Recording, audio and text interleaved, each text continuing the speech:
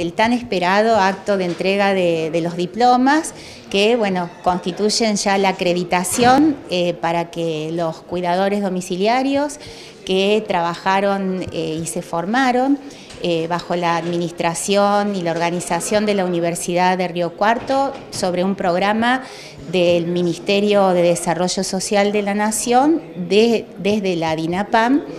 eh, bueno, justamente ha llegado a su momento culminante, muy esperado para los egresados, que es eh, obtener su, diploma. Están presentes, está el aula magna llena, están presentes eh, las nueve localidades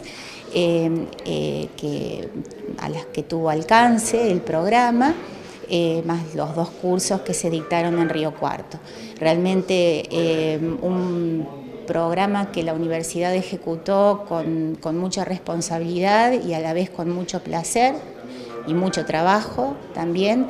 eh, que responde a la política de la universidad con respecto a la educación a lo largo de la vida y a la calidad de vida de los adultos mayores, eh, contemplando este objetivo del curso de cuidadores, que es fundamentalmente contribuir a que el adulto mayor se valga por sí mismo eh, y retrasar o evitar en lo posible la institucionalización del adulto mayor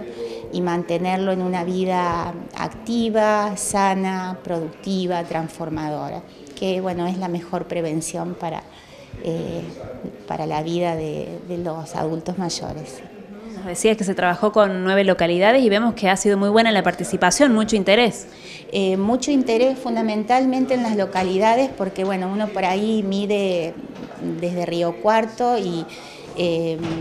hay localidades que no tienen ni siquiera eh, personas que puedan cuidar sin tener formación a los adultos mayores, no tienen instituciones, digamos, residencias geriátricas. Entonces, para las localidades también ha sido un aporte muy importante desde la universidad.